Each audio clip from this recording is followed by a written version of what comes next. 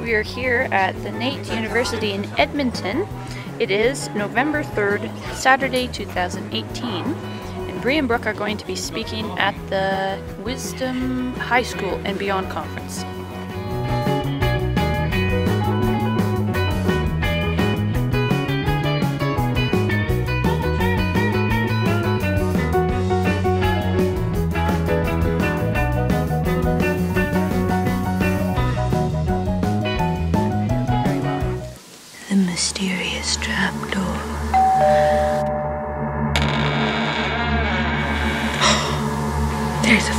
With four eyes and their mouths looking at us.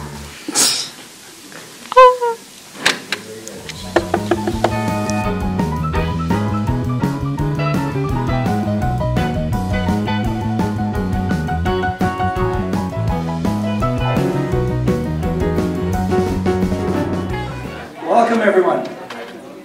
Good to see so many of you here. We have some grads that have gone through their homeschooling experience and moved on into life in, in uh, various degrees, and, and we're here to hear them tell their story and have the opportunity to ask them some questions as well. So, um, as we begin, I'll just invite them to come up. So, Anne Gallagher from, uh, from Drumheller area. Please welcome them.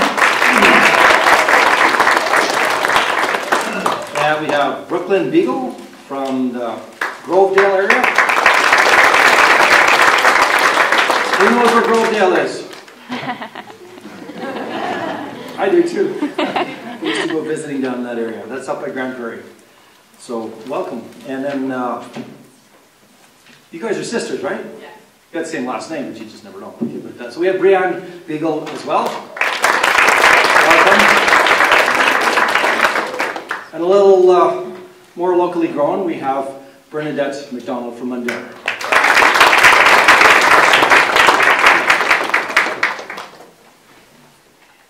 Once upon a time, in 990 BC, there lived a king. He is considered, considered to be the wisest man who ever lived. His name was Solomon. King Solomon had everything he could desire, and this is what he said as he neared the end of his life. Remember now thy Creator in the days of thy youth. Let us hear the conclusion of the whole matter. Fear God and keep his commandments, for this is the whole duty of man. Hello, everyone. It's a pleasure for Brooklyn and I to be here with you today. Thank you, Glenn Spies, for contacting us for this event. And also thank you to Randy Cobb, our family's facilitator uh, for many years. And of course, thank you to the Wisdom staff for all the work that you do. Of course, um, Brooklyn and I, we are very grateful for this opportunity to be here and share our hearts in regards to our home education experience. And we hope to be an encouragement to you on your individual educational journey. Every uh, homeschool, every homeschooler is different, and every family is different. Every individual has their own unique story.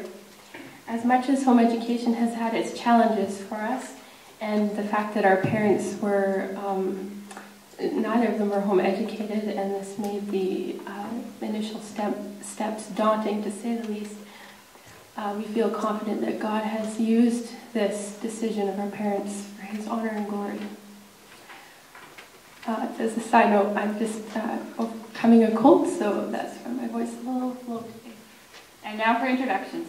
This is my twin sister, Brooklyn. She loves the Lord Jesus with all of her heart, and she's one of my best friends. Uh, there are seven other of my best friends over here, all my siblings in the front row. Um, it's wonderful to have them here with us.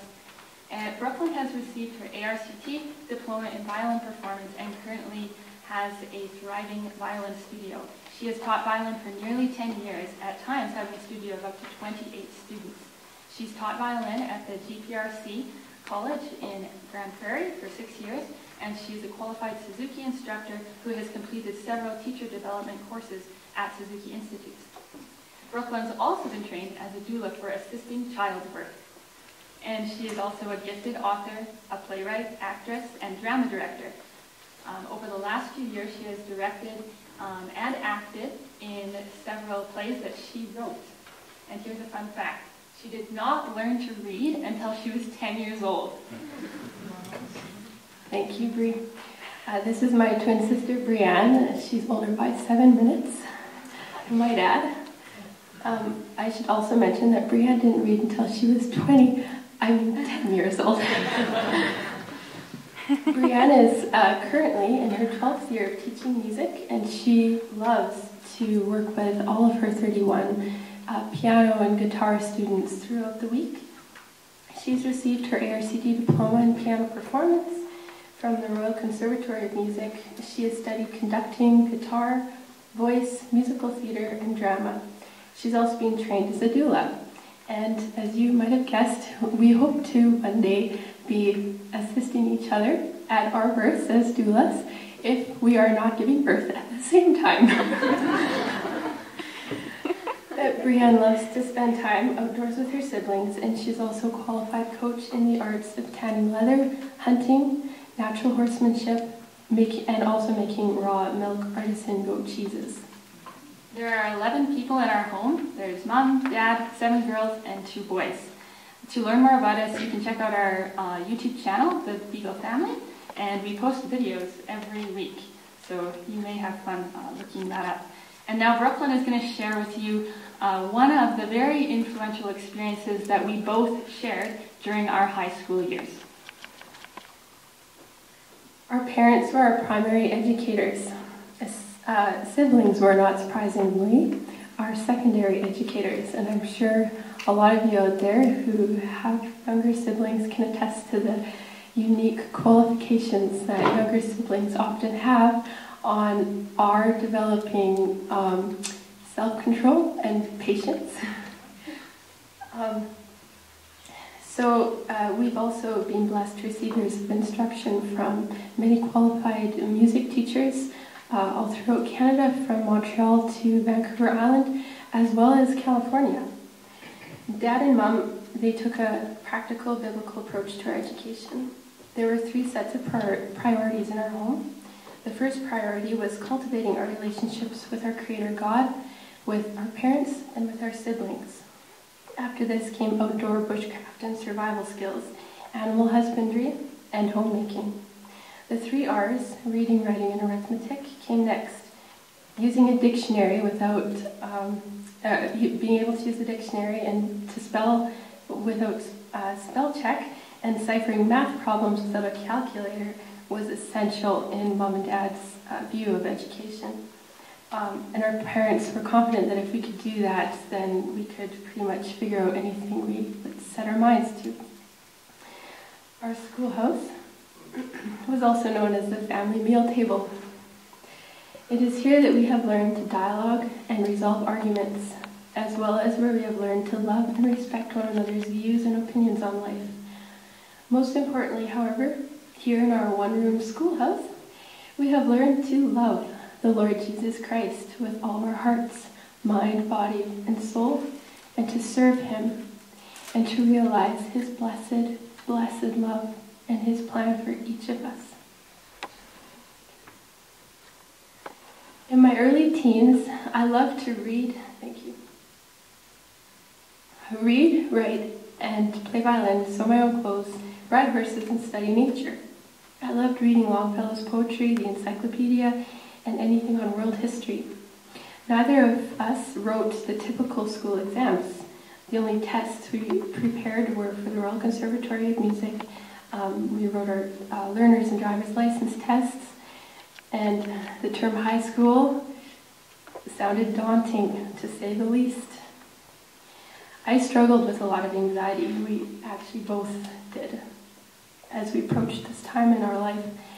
I felt anxious about what I wanted to be, uh, not what I, I wasn't anxious about what I wanted to become, but I was very anxious about how in the world I was going to get there. When I turned to look at what other homeschoolers were doing and compared my deficiencies with their strengths, I definitely felt like a failure. Brie and I were on actually very similar journeys throughout this time, and we both began to feel that if we didn't get into college or university, our cause was hopeless. We became determined to prove that homeschoolers could get into college. We were determined to be smart, to get certified, and to make a statement. Um, but however gung ho we both were to embark on this new adventure, in all of our hassle and haste, we almost forgot to prayerfully consider and evaluate the costs that we might need to pay in order to get there. I'll just say it right now that neither of us did end up attending university, even though we had many resolutions and so-called green lights to go. Um, it didn't become part of our history, um, although we did make su successful steps toward it. God had other plans. We both experienced some uh, tremendous outside pressure, actually, to attend university. Um, and our final meeting with one of our professors uh, at one of these meetings, they indicated very plainly that because, our, because of our unique giftings as students, we uh, needed to uh, prepare ourselves to give back to society, meaning uh, that we should still consider getting that degree. Of course, it is very important that we all seek to become equipped to enrich our culture and help others whenever we can. But a question we should also be asking ourselves at the same time is, is this, is a university degree the only way that we can truly give back? So that's the question that we really had to grapple with. And it was really hard. It's really hard to try to understand, okay, how can I give back if I don't have a ticket or whatever? Like, am I really qualified if I don't have a piece of paper saying that I did this? But uh, anyway, back in 2013, as we continued to pursue entering college, I passed my placement exam and superseded the English 30 requirements at the Grande Prairie Regional College and so despite my misgivings about not having had an official English tutor and not having had my Alberta diploma, I did discover that I was still able to enter college. Bree took a slightly different route and passed English 30 diploma exam and proceeded to begin earning college credits over the summer through Athabasca University. So everything was, all, there was all green lights. We were ready to go um, to start in Grande Prairie and then moved to Edmonton uh, was uh, transferring our credits uh, after attending GPRC. Um, and this would uh, this journey would take us approximately four years to complete. But to our shock and amazement, that university-bound coach came quickly to a screeching halt when the why question really truly hit home.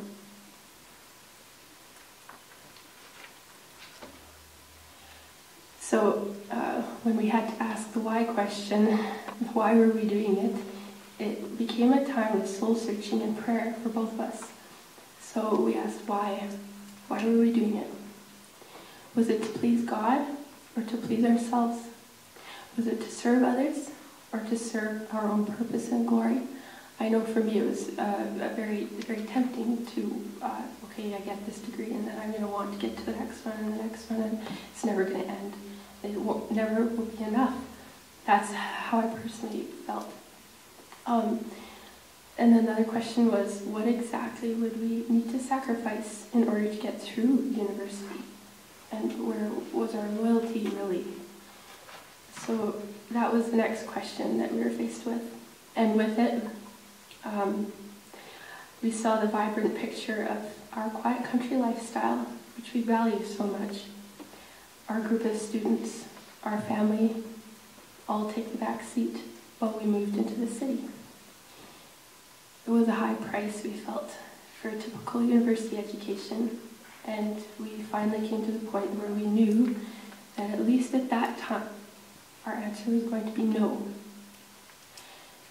It has been five years since we made that decision, and never once have we looked back. I too have not regretted the decision that we made five years ago. And uh, we feel both very, very grateful that we can savor each day that we have to live together with our family. Now we'll move on. Um, we want to share with you some things that we learned during high school. I'm sure that we can all agree that education is a lifelong journey. And education doesn't just mean schoolwork. Being educated doesn't just mean having a degree or a diploma. However, these accomplishments are admirable and certainly do have their merit. Here are two major things that we learned during high school, which we consider to be two of the most important ingredients in a successful education. To be truthful and to take responsibility. First, let's discuss truthfulness. Since childhood, Brooklyn and I have been taught to tell the truth. I'm sure you all have been as well. Don't tell a lie is a common phrase that we've all grown up with. Do you appreciate when someone is truthful with you? Of course. Interestingly, however, despite the fact that telling the truth is an obvious lesson a child needs to learn, deception is not something that we necessarily outgrow after high school. In fact, sometimes honesty is an even greater challenge as we get older. John Ruskin lived during the 1800s, and he was the leading English art critic of the Victorian era, as well as an art patron, a draftsman, watercolorist, and a prominent social thinker and philanthropist. This is what he said. To make your children capable of honesty is the beginning of education. The world is full of lies. We've all seen the false advertising. We've heard the empty promises. There are scams on every corner. Likely, each one of us in this room has told a lie at some point in our life. And we all know that one lie leads to another, which leads to another, which leads to another. It's a very, very slippery slope. Living in deception is like living in a jail cell. If we don't have truth, what do we have? I don't want to be deceived. Do you? Brooke? Of course not. None of us want to be deceived. But how will we not be deceived? Have you ever thought of a solution? How can we live in this world without being deceived? Here's an illustration. When it comes to recognizing deception, you may have heard the following metaphor. When federal agents are trained to identify counterfeit money, do you know how they do it? Do you know how they do not do it? They do not study the counterfeits. Rather, they study the real money so that when they spot fake money, they can recognize it right away. So, by taking this example, how can we avoid being deceived? Well, we need to continually examine the truth, which leads us to the age-old question, what is the truth? Well, here is something to consider on your search for truth. Jesus Christ, another very prominent historical figure, said in John 8, 31 to 32, If ye continue in my word, then are ye my disciples indeed, and you shall know the truth, and the truth shall make you free. Now for the second most important ingredient of a great education, taking responsibility, both in school and in life. First, we learned responsibility in school. Taking responsibility for our education dramatically improved our retention and enjoyment of the material we were studying, whether it was music, drama, history, math, whole works. It was primarily during our high school years that we both decided to take responsibility for education instead of allowing um, somebody else to dictate what we were supposed to do. We have, we wanted to set our goals, and we took responsibility for that. And it was it was really tough at the beginning, but it did it did pay off. So, um, second, uh, we learned responsibility in life, so school and in life. Um, and remember, education isn't just about schoolwork. It is about life.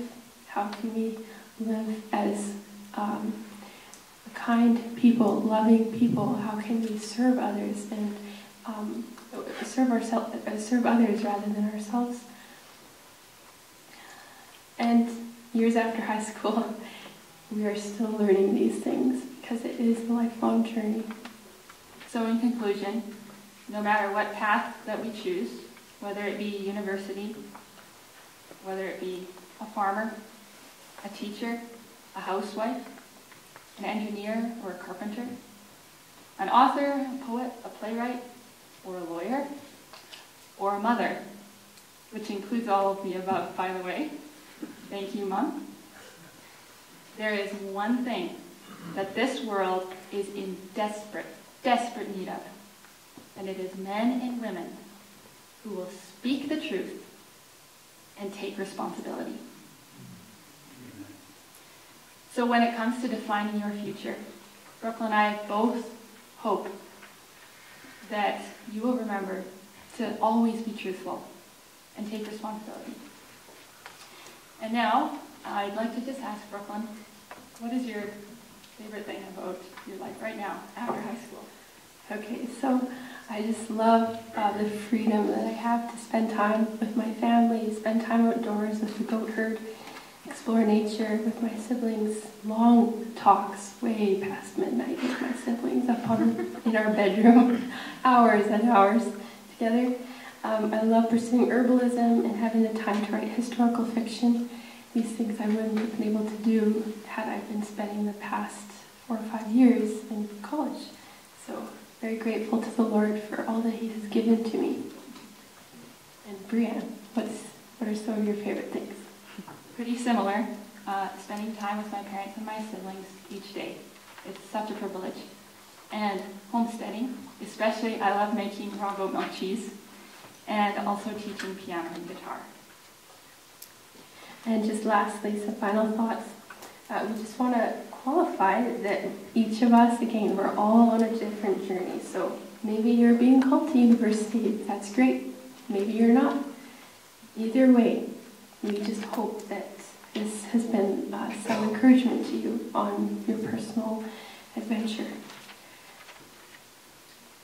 And also, be encouraged to involve your parents and your siblings in your life as much as possible. Seek their counsel. King Solomon said that where no counsel is, the people perish. But in the multitude of counselors, there is safety. And remember, no one has a better invested interest in you than your parents.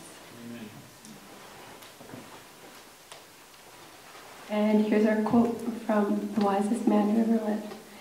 Remember now thy Creator in the days of thy youth. Let us hear the conclusion of the whole matter. Fear God and keep his commandments, for this is the whole duty of man. Thank you once again for having us. It's been a privilege.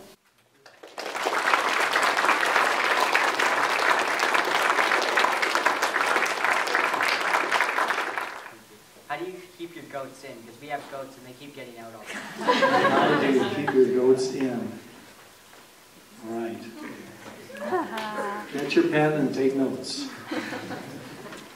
So we spent quite a few years with not the greatest fencing, and we did have lots of trouble with the goats getting out. it was frustrating. We had boards and patches everywhere. Finally, we got uh, really nice, uh, durable fencing. I don't. What is it called? That. It's it's like squares. Uh, it's squares, and, and it's about this high. Page wire? Heavy grade wire. Is it page wire? It's quite expensive, but it's worth every penny. Yes, it is. Yeah, it's expensive, but worth every penny. So it's yeah, worth investing in.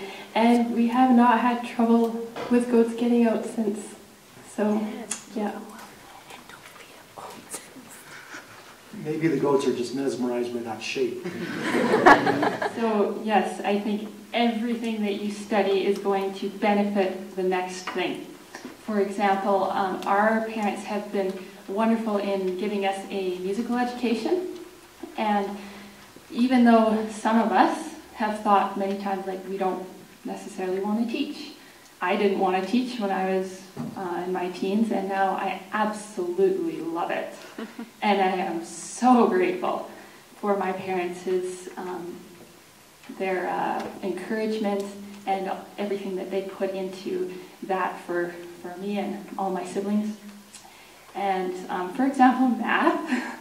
math was also something that was a struggle um, for myself and I think Brooklyn as well. Um, but but um, it really did help us. It helped us in our music, just as the music helps. I actually find it really helps with making cheese.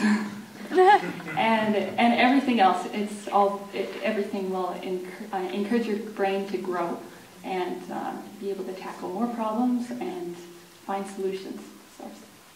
I would agree with what the ladies have also said. Um, and like Anna said, uh, like the question, do I really need to know all this math? Like that, that was huge. And it actually uh, led me to um, just pause and think, okay, how is this going to apply to life in stewardship, stewardship math?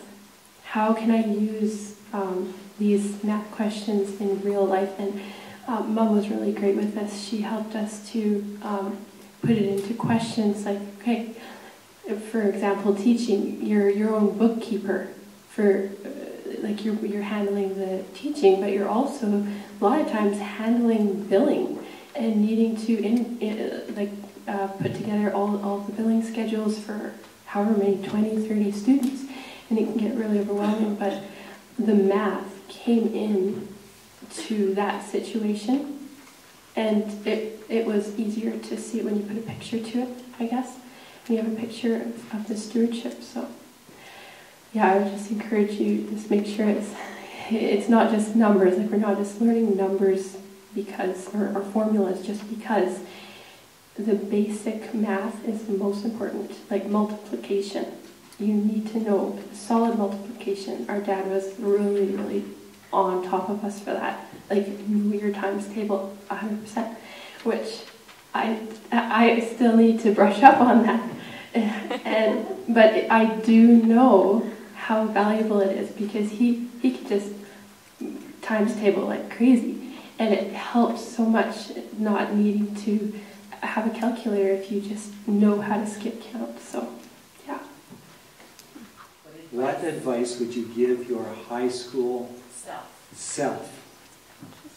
probably the advice that i'd give to my high school self would um, be to really really prioritize properly um, make sure that you have your priorities in order God, family, your health, and then your education and your work. But if you don't have a relationship with, with the Lord and your family, it, everything else, I, I know from personal experience, a lot of times I would put, oh, my schoolwork, I need to get my schoolwork done before I can spend time with my siblings or before I can take time to have my Bible study. And I actually can look back and see in, for example, I mentioned um, we took Royal Conservatory exams. Just, just a small example. But I can see, like, uh, in my life, during the time when I was focused on my time to do my schoolwork, to get all my things done, and uh, do what I wanted, my marks actually reflected that. They, and some, there, there was uh, even uh, some counterpoint exam that I had to redo, and I can look back, and at that time in my life, my priorities were so out of whack. It was, it was very obvious, and then as the Lord took me on this journey of, okay, I need to prioritize the Lord and family and your health and then everything else, it did reflect in my consecutive exams and the marks did rise. So just, um, I'd encourage, if I was to go back, I would definitely prioritize things um, better. Very much the same points as Anna and Brooklyn have made. Um, like Anna said, taking that space, um, taking time would be something that I would encourage my high school self to do. Time with my parents, having heart to heart conversations with them, and also with my siblings. Just taking time to talk with them, get to know them. You're only at this place in your life once, and then it's gone. Do not take it for granted. So how do you balance your passion for music with all the other stuff that goes part of your education journey? We were very fortunate to have music be an integrated part of our life. Uh, we started music at a very early age, and it just kind of became something that we did. Um, it was just integrated right into the schedule.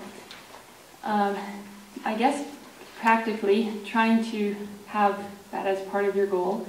Um, say every day you need to practice an hour of piano or um, whatever it be. It's much better to get a small amount of practice in more often rather than try and cram like three hours in if you haven't had three or four days of practice. So smaller chunks are a lot better than huge ones that you try and gulp down. Also, um, music is a language in itself. And there's so many subjects that tie into the musical education. So if you're studying music, you're studying history, you're studying poetry, architecture, drama, and uh, nature even, math. Music is math. Music is a second language. We didn't learn French, but we did learn music. So all these things, it was, it, mom and dad didn't even realize what they were giving us when they gave us a musical education. They really didn't. But we can look back now and that is, like that was the, the um, bedrock of uh, the academic, I guess you might say. So yeah, there's so many things that tie into into music. I hope that helps. How did you integrate biblical studies into your everyday school life? So uh, the Bible has always been the bedrock of our education. Um, it is what we consider and we know to be the truth and something that was really laid on our parents' hearts a long time ago and has been such an important part is what we've called Torah time. And we don't do it so much anymore because our life just has um, changed to including it at the breakfast table. But uh, a few years ago, it was laid on our mom's heart to just begin reading through the books of Moses, starting in Genesis, and just reading through it, and then talking, and then praying. And that was at 9 o'clock to 10 o'clock every morning. So we'd wake up, have breakfast, um, do a little bit of Bible um, at the table, and then go do our chores, come back and read the Bible and discuss it and have lots and lots of dialogue about it. And we really noticed that when we spent that time in the Word of God, it's dramatically improved every other area of our study. And then also, aside from that, we each individually um, spend our own time in the scriptures when it works in our schedule, because we all have a little bit of a different schedule as siblings. But um, that has been very, very important in our education journey. I think that's an awesome question, by the way.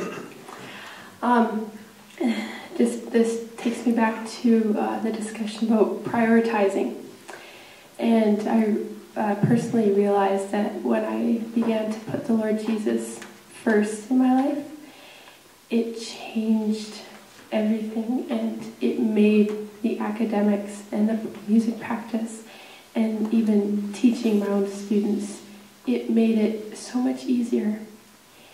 Everything flowed. Whereas before, when I would make it, oh, late at night, going to bed, I didn't read my Bible, didn't do any prayer. Man. And then it's rushed. But I found um, that when the Lord would put on my heart, okay, you give me the best hours of your day, mm-hmm. And I will give you the time that you need to complete these projects. Mm-hmm. And when I finally did that, it, it revolutionized my life. Put him first, and he will definitely fulfill the desires of your heart, and he will help you to get all of those academics accomplished. So, yeah, be encouraged. And uh, I just want to say thank you to Brianna and Brooklyn and and Anna for giving yourselves just to um, help us to be encouraged in our own journeys. And we're very grateful for what you've done for us. Please give.